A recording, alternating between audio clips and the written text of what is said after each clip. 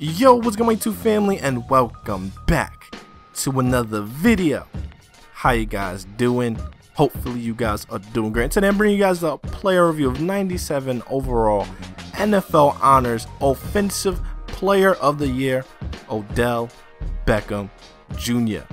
With my Giants fans out, show me where you at. Let's check out the back of this card. This card is 5'11", 96 speed, 88 awareness, 98 catching, 94 elusiveness, 101 spectacular catch, along with 91 release, 93 route running, and 97 catching in traffic.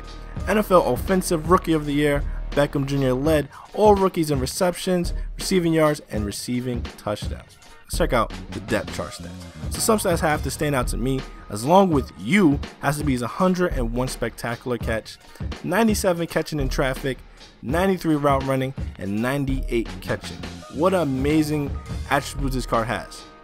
The way I like to personally use the card is in the slot, also known as wide receiver number 3, because of its 5'11 height, along with its 96 speed and 97 acceleration. Having that combined with his insane catching attributes makes him a monster.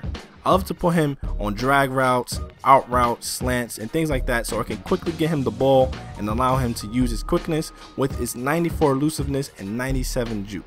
Be, but be careful because this card does have a weak 70 carry. So just be mindful of that. So make sure not to take any big hits when you're down the middle field by any of the linebackers or thing like that.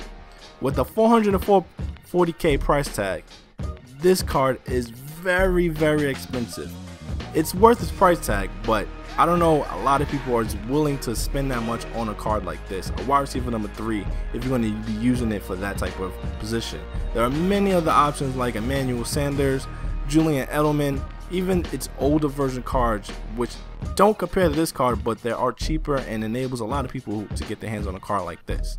One thing I really enjoy about this card, when you do fade routes and things like that. His 101 spectacular catch animations are amazing. I really love that about this card, and it's good to see that with a different card with his height being 5'11. It's very weak, and that's one thing I don't really like about it. And uh, he's really short.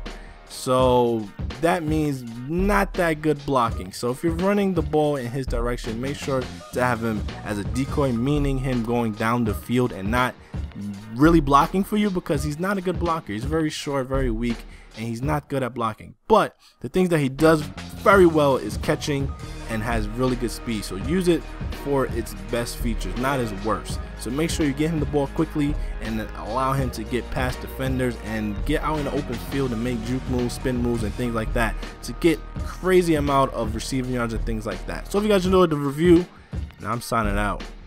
Peace.